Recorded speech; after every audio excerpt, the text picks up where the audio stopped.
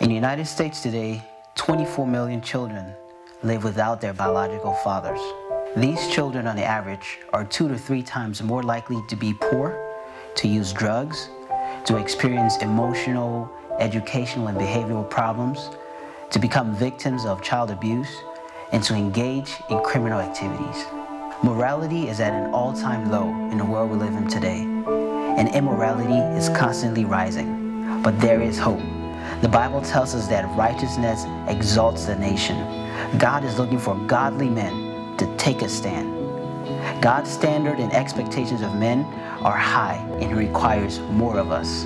Join us on Saturday, June 16th for Men on Fire, our exciting one-day men's conference geared towards transforming men to make a positive change in our homes, our workplace, and the community.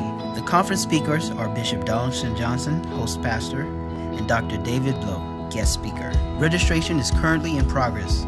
For more information or to register, please stop by the table in the lobby or visit our website at cityofhope.bwomi.org. Men, let's not miss this opportunity to save our families from becoming a statistic.